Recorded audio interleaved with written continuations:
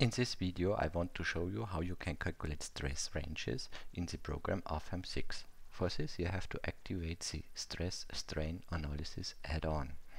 After activation of this add-on you get in the table below a chapter for stress strain analysis.